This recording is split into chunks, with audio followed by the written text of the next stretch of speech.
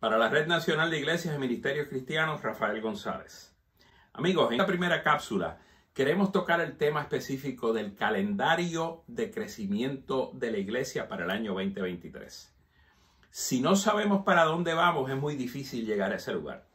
Así es que es importante que durante este año creemos un calendario específico, comenzando a principios de año, de cómo vamos a hacer el proceso de crecimiento de iglesia y desarrollo de iglesia. Hay cuatro sugerencias básicas que queremos presentarle en este momento.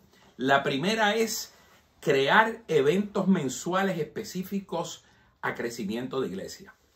Ejemplo de esto es un domingo específico donde pedimos que cada familia traiga un invitado a la iglesia o un evento específico donde podamos invitar a la comunidad en general a venir y unirse a nosotros en un servicio. Eso nos va a permitir tener visitas que podamos eh, trabajar con ellos para ser los nuevos miembros o integrarlos a nuestra comunidad de fe.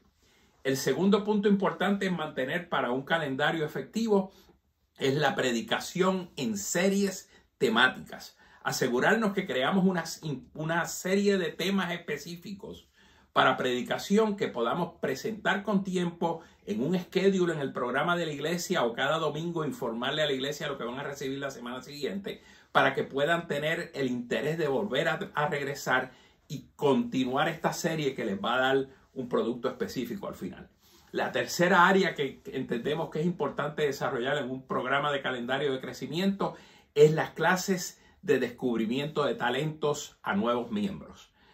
Cada persona que viene y se, se une con nosotros por primera vez debe ser invitado a una segunda actividad donde los invitemos a tener esta clase donde puedan identificar sus talentos y lo que podrían ellos hacer dentro de la estructura de la iglesia.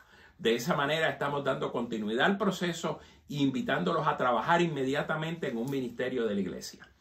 Por último, y no menos importante, necesitamos asegurarnos de que planificamos un schedule de tres o cuatro periodos al año de bautismo. ¿Por qué razón esto es importante? porque estamos trayendo gente nueva a la iglesia que van a ser candidatos a bautismo. Necesitamos darle el entrenamiento pre-bautismo y poder setear los, los días específicos para esos eventos para que puedan mantenerse viniendo a la iglesia. Así es que es importante que sigamos estos cuatro puntos, son una buena sugerencia.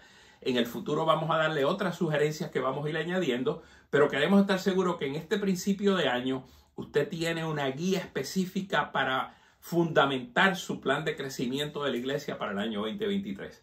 Recuerde, llámenos al número en pantalla o escríbanos a la dirección en pantalla y con gusto estamos para servirles en la Red Nacional de Iglesias y Ministerios Cristianos. Bendiciones.